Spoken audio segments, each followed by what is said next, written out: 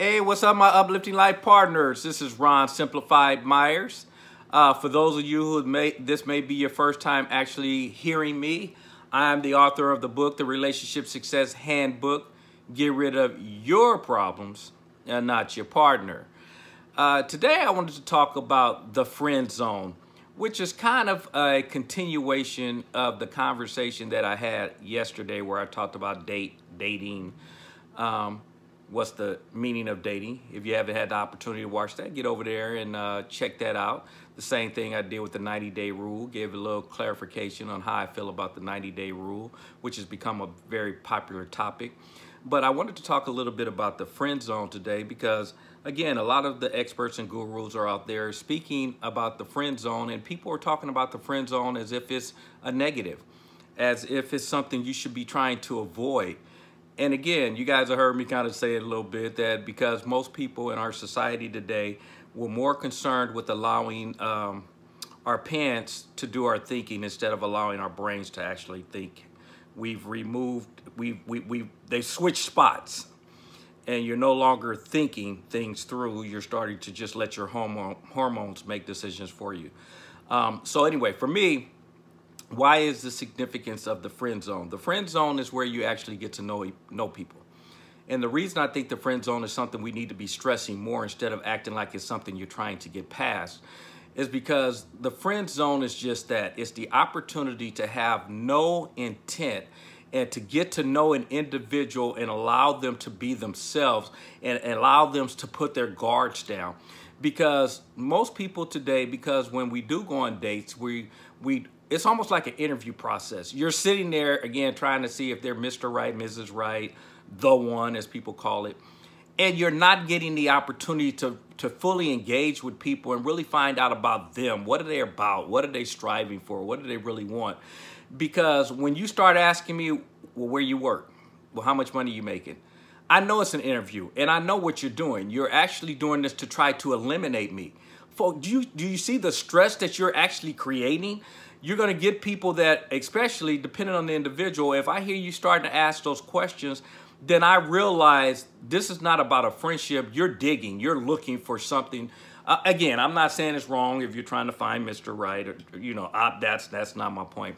But I but I realize you're not trying to get to know me. You're looking for something you've created, and you're trying to see if I fit and I qualify. So it's an interview process.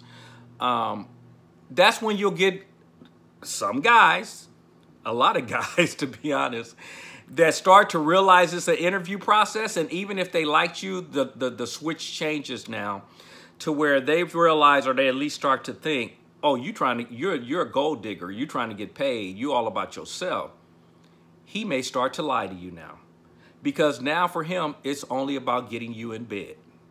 Because now he no longer wants to be in a relationship with you because he realizes you don't want to be in a relationship with him unless he fits your interview process.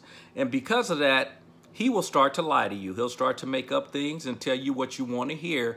But the only reason is because now he's playing games. Now he wants to see if he can get you in bed. And then you wonder why after that, he disappears pretty quick. So to me, the friend zone is allowing you to be you, me to get to know you without us playing games, without any hidden agendas. We're just two human beings hanging out, and let's see where this goes. You will start to feel, because see, people's consistency, that's why as human beings, we pick up on each other's vibes, and you can figure out. You don't be one of those people that, you know, like I've said before in the uh, previous video about the young lady uh, going to bed with a guy you meet the first night and then you want to turn around and have a relationship with him. Well, you kind of mess that up in most guys' case. Definitely with a guy like me, because again, I'm not saying this is not here to judge, but for me, I will start to question you as an individual. And I know you'll question me because if I went to bed with you on the first night, you're saying, well, how do I trust you? Exactly. But for me, that's why I wouldn't get in a relationship with you immediately because that is going to be my question is because if you went to bed with me that easily, am I really gonna play? And some guys do. They have this little ego, and, and again, I used to have an ego back in the day, where you start to think it's because I'm the man. You know, it, it's it's all about me. You know, she wouldn't do that with other guys. It's because I'm just good. then you start to mature and you realize, get over yourself. And now you start to say, you guys hear me always all the time, character and integrity. You have just made me question your character and your integrity because you went and you were so easy the first night. So now all of a sudden, my thought anytime I'm not with you is, what are you doing? And we all know if you can't trust in your relationship, you don't have a relationship. So you can see why I'm saying you've crossed the lines. That's why, again, I'm saying know your value, know your worth, and um, and be friends. Get to know people. Um, there's too many times I've heard people that did um, go to bed quickly and then they regretted it because they're like, ooh, after I got to know him, you know, I found out he was that. I wish I hadn't. I wish I hadn't. Whoa, why didn't you do all that investigation in front? That's the purpose of the friend zone. Learn that the friend zone is your friend. Start there. Like I said, date, turn it into dating and we can decide if intimacy is coming later. But during the dating is the friend zone. I need to realize and figure out can I even be friends with you? Because if I don't, and for those of you who haven't figured this out, sex will only go so far. I had a young lady tell me sex is 70% of a relationship. And I told her, I said, You're young. So that's okay for you to believe that. But if you don't figure that out eventually, and realize it's not, you'll never have a successful relationship. And I know for some of you that's a rude awakening. And to hear that might be shocking. But there will come a time where the sex will slow down. Somebody, someone may get ill. Sex may stop altogether. Now, if that's 70% of your relationship, what's going to happen? And that kind of brings me to even on the sex part when I, uh, just because of thought cross, it's a different conversation. But for those of you who use that as an excuse that my my girlfriend wife let herself go and that's why our sex life changed.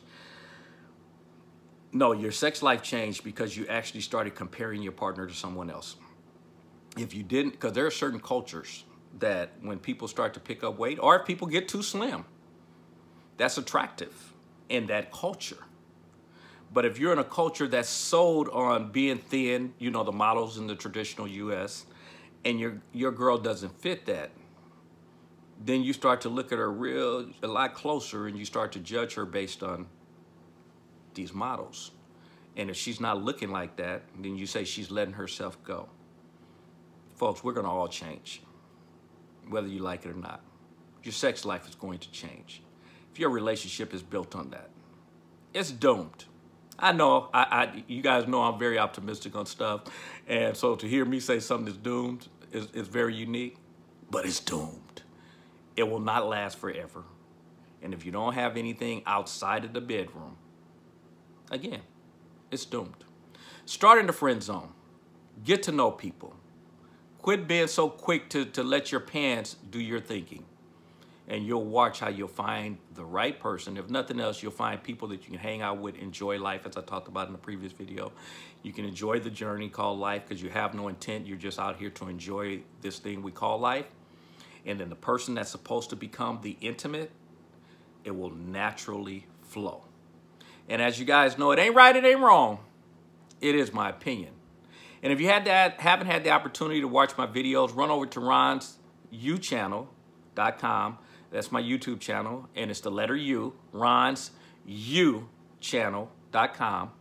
Uh, subscribe to the uh, site, like the videos, I would appreciate that. Uh, give feedback. If there's certain topics you want me to talk on, please let me know. I enjoy, again, doing videos. I enjoy sharing insights. Again, as you guys know, like I said, it ain't right, it ain't wrong. It's my opinion. No one has all the answers. I'm giving my perspectives. You take them or you leave them. That's your view. But on this one, what I'm telling you is learn to start in the friend zone. Enjoy your daily.